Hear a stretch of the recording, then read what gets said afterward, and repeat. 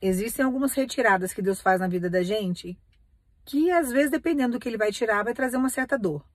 Só que Deus manda dizer para você, ele só vai tirar da sua história, ele já está tirando, e tem algumas situações aqui de alguns irmãos, algumas irmãs, que ele já tirou aquilo que não iria te honrar, que não tinha capacidade de cuidar de você. Então, ele não vai permitir nenhum estorvo na nossa história, porque isso atrapalha a nossa evolução, o nosso crescimento. Isso nos traz dores, estagna.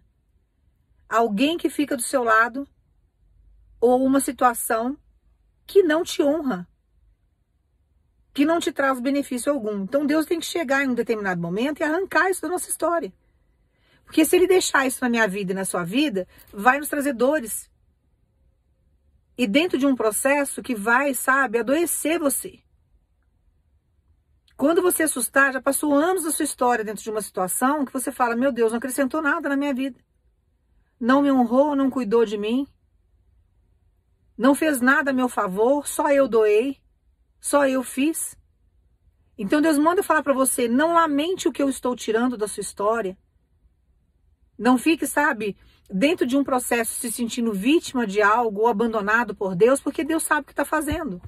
E Ele manda falar para você, dentro desse processo, eu não vou deixar jamais algo que não honra você, ou alguém que não cuida de você, ou alguém que não te honra. Eu não vou deixar, sabe, nenhuma situação trazer prejuízo para você, emocional, psicológico, físico, material. Então descansa porque Deus sabe o que está fazendo.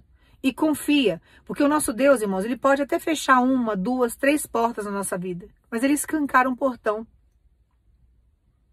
Aonde tem parede que você não vê nada, ele abre porta. Quando não tem como abrir porta, ele abre janela para você passar.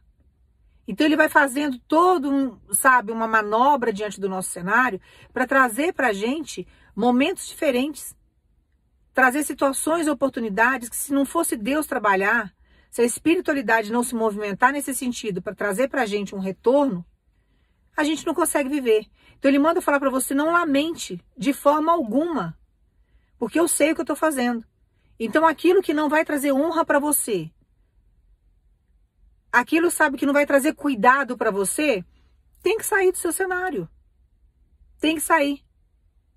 Porque vai virar um processo de escravidão dentro da sua história que daqui a pouco você não vai conseguir suportar. Deus conhece o teu limite.